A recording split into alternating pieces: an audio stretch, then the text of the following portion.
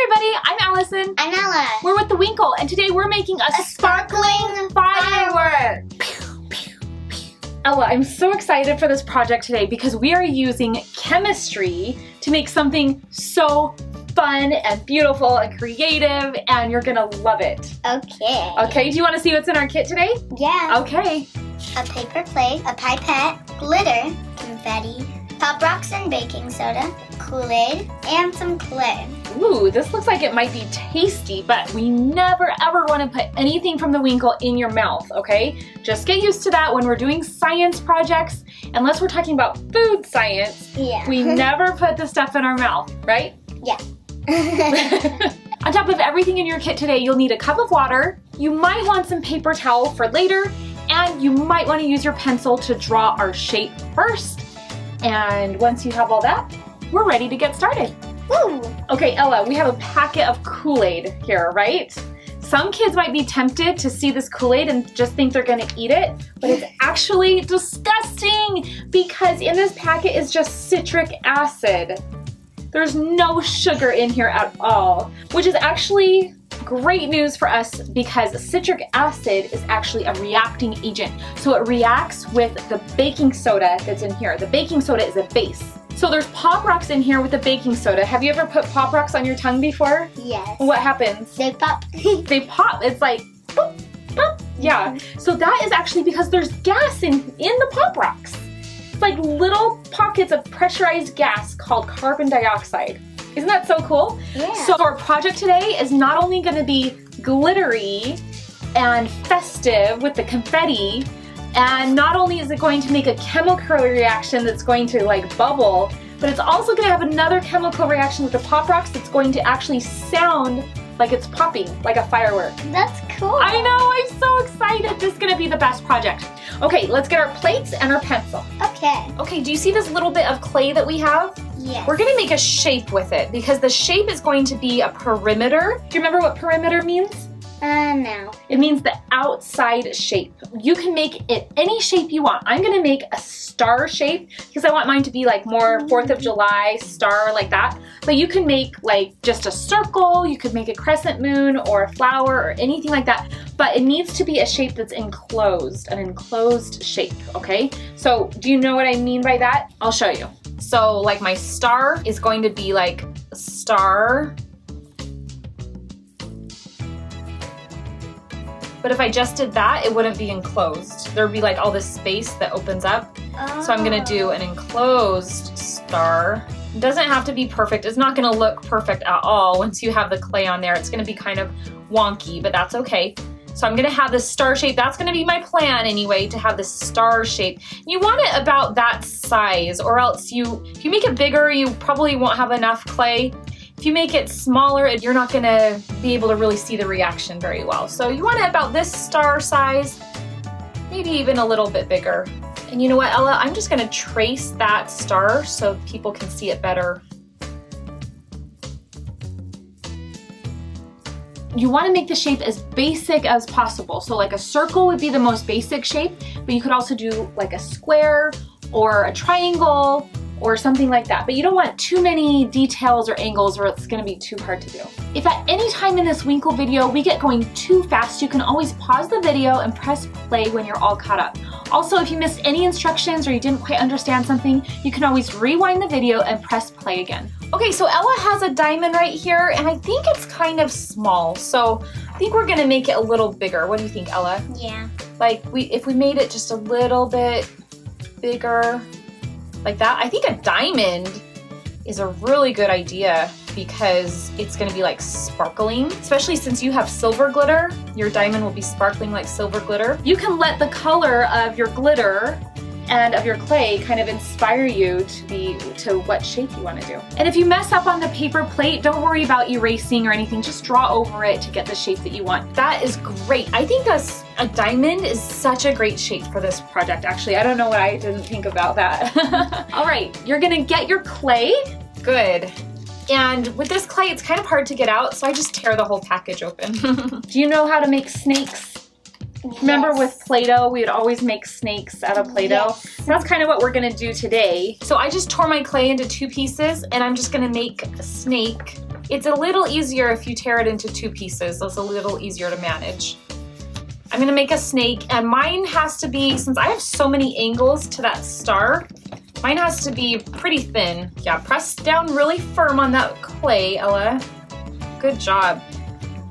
Mine has to be pretty thin because see how many lines the star has? And then I'm just gonna press nice and firmly on my paper plate because I don't want my chemical reaction to go underneath the clay. So I wanna press nice and firm. And I'm gonna roll out some more clay. Good, put that on the diamond.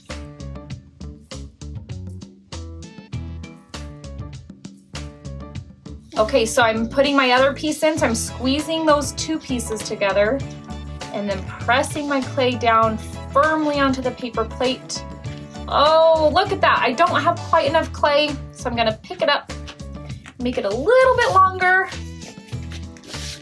Let's see if I have enough clay now. Well, it's the same amount of clay, it's just, I rolled it out somewhere. Oh yeah. Oh, perfect.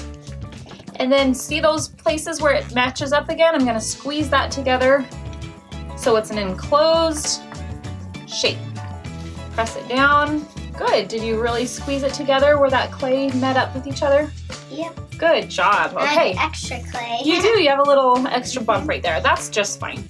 Okay, this next part is all about the layers, okay? So we have a lot of ingredients here, right? So we're just gonna sprinkle a little bit of it at a time, and then you'll have enough for four fireworks, okay? So if you just sprinkle a little bit of it, a little bit of this, a little bit of that, and that, then we'll do the reaction, and then after the reaction's done, we can kind of wipe it out with our paper towel, and then we can do another one. Yay. And we can do that four times. That's cool. Okay. Yeah, it is pretty cool. Okay, so this Pop Rocks thing, kind of shake it up just a little bit. It's the baking soda and the Pop Rocks. And remember, the baking soda is a base, and we need a base in chemistry to react with our reacting agent, which is, do you remember what it is? Um, it's the Kool-Aid. Yeah, good job. The citric acid that's in the Kool-Aid. Okay, so see how I just sprinkled a little bit of the baking soda and the Pop Rocks in here? Yeah, just a little bit. You don't need the whole thing. That's pretty good. If you just give it a little shake like that, it'll fill in the whole area. This is actually a mini, mini math lesson is that this is the perimeter, okay? And then this, all this stuff that's in here is the area, okay? That's a pretty good math lesson, right? Just a short one. I'm always trying to sneak in a little math. All right, we're gonna open our Kool-Aid packet, just the corner of it. Open it up. It's gonna smell good. It's gonna smell like you wanna eat it, but trust me, Mm. you don't wanna eat it. It's gonna be sour and gross. Okay, sprinkle a little bit of it into your shape. It smells sour. Set that aside. Good, you could kind of settle it down. And then we're gonna add some confetti. The confetti doesn't do anything besides just make it fun and festive. And then the glitter, just tear off the very teeniest, tiniest corner of the glitter because you do not want this to go around your house or on your clothes. What do we know about glitter? It's really messy, isn't it? Yeah. So we're just sprinkling a little bit of it, and this is just for decoration. It doesn't have anything to do with the chemical experiment, but it's still so fun. Just carefully set all your stuff aside in a safe place. Kind of jiggle your shape a little bit so that everything is set in there. Very good. Oh, that's gonna be awesome. Okay, Ella, are you ready for the chemical reaction? Yes. our sparkling firework. Okay, so you're going to squeeze the top of your pipette and then put it in the water. Pipettes are so cool because when you do that, all the water comes up. Cool. Ready? And then you can just keep adding water until it all sparkled out. Okay, ready? Mhm. Okay, here we go. oh, that's so cool. Look at that. I love it. Do you hear it? Mm-hmm, And I also smell it. Oh, smells good.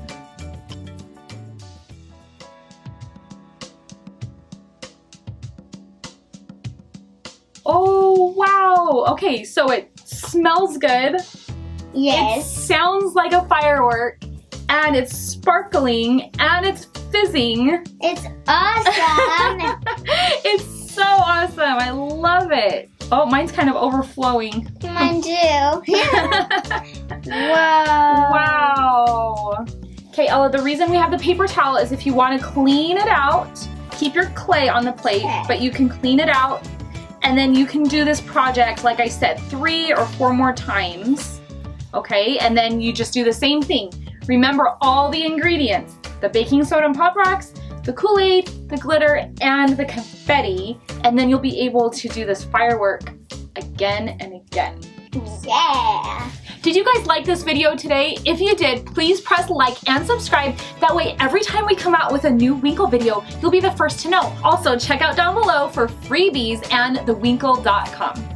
Ella, I would love to see how all our friends at home did on this sparkling firework project. If you have a grown-up, take a picture or video of you with your sparkling firework, have them post it on social media, and tag us at the Winkle Crate. That way we can see what everybody made and how it turned out. Yeah. Ella, thanks for joining me today. You were such a good helper with this chemistry project. What do we think about chemistry? It's awesome. It's awesome! Yes, it's so fun. Okay, see you next time, everybody. Bye. Bye.